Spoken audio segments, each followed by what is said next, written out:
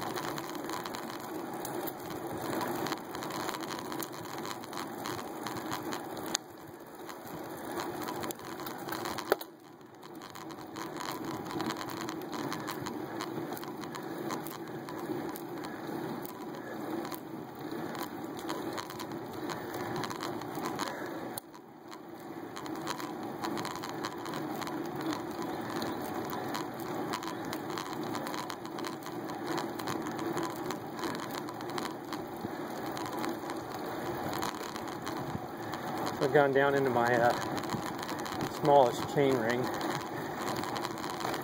24 tooth triple, and I've got a 1230 on the rear. so the early part of this climb, the reason I went into my triple so soon is I don't want to have trouble getting into it on a steep gradient on this climb. So in a lot of places it's way too small, frankly, for this hill. But uh, I'd rather be in it reliably than have a problem on a steep gradient.